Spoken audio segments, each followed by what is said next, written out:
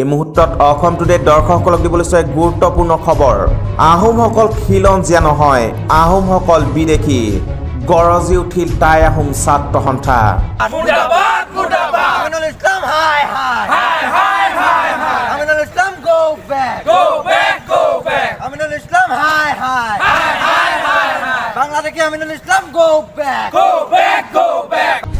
আহোমসকল খিলঞ্জীয়া নহয় আহোমসকল বিদেশী মিয়া মুছলমানসকলহে খিলঞ্জীয়া ৰাজহুৱা সভাত এই মন্তব্যত ধিং সমষ্টিৰ এ আই ইউ ডি এফৰ বিধায়ক আমিনুল ইছলামৰ। আৰু এই ভাষ্যৰ পিছত সৰব হৈ উঠিছে আটাচুৰ আজি পুৱাই ৰাজপথলৈ ওলাই আহিল আটাচুৰ ৰাজগড় আঞ্চলিক সমিতিৰ নেতৃবৃন্দ। বিধায়ক আমিনুল ইছলামৰ ভাষ্যৰ তীব্ৰ বিৰোধিতা কৰি বিধায়কগৰাকীক জধামূৰ্খ অসমীয়াৰ শক্ৰু আখ্যা দি ৰাজগড়ৰ ৰাজপথত বিধায়কগৰাকীৰ প্ৰতিমূৰ্তি দাহ কৰে আটাচুৰ ৰাজগড় আঞ্চলিক সমিতিয়ে। Aminul Islam Aminul Islam back. AUTF go back. Go back, go back. Bangladeshi AUTF go back. Go back, go back. অসমক অপমান সহ্য কৰা নহ'ব। নহ'ব, নহ'ব।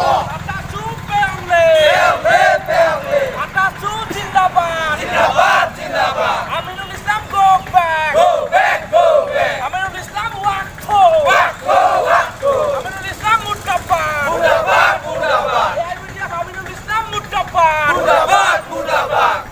আহোম বিৰোধী সকলো Bangladeshi হুঁচিয়াৰ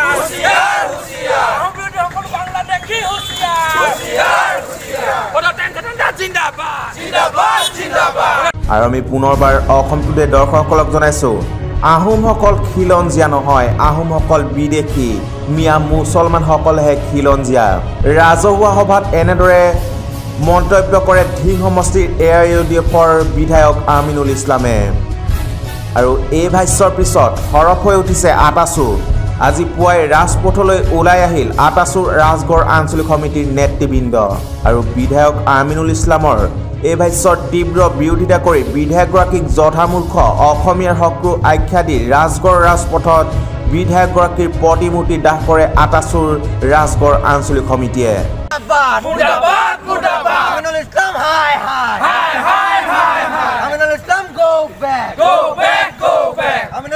hi, hi. Hi, hi, hi, hi. Bangladeshi Aminul Islam, go back. Go back, go back. Bangladeshi Aminul Islam, hi, hi. Hi, hi, hi, hi. Bang- Bangladeshi Aminul Islam, Mudabat. মুৰ্দাবাদ মুৰ্দাবাদ আহোমক অপমান সহ্য কৰা নহ'ব নহ'ব নহ'ব আহোমক অপমান সহ্য কৰা নহ'ব নহ'ব নহ'ব AIUDF go back go back go back জধামুখ Aminul Dhing সমষ্টিৰ বিধায়ক আমিনুল ইছলামে আহোমক তথা আহোম জাতিটোক যি চৰম অপমান কৰিছে চৰম অপমান কেতিয়াও আমি সহ্য নকৰোঁ।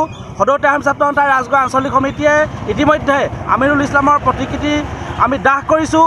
এটা কথা স্পষ্ট বৰ অসমৰ প্ৰতিষ্ঠা কৰা অসমীয়া জাতিৰ যি প্ৰতিষ্ঠা কৰা টাই আহোম জাতি সেই জাতিটোক অপমান কৰিবলৈ আমিনুল ইছলামে ক'ত সাহস পালে? তেওঁ কৈছে যে আমি টাই আহোমসকল খিলঞ্জীয়া নহয় কিন্তু এটা কথা তেওঁ জানে নে নাজানে যে অসম নামৰ উৎপত্তিটো ক'ৰ হ'ল ক'ৰ পৰা হ'ল? অসমীয়া জাতিটো ক'ৰ পৰা হ'ল?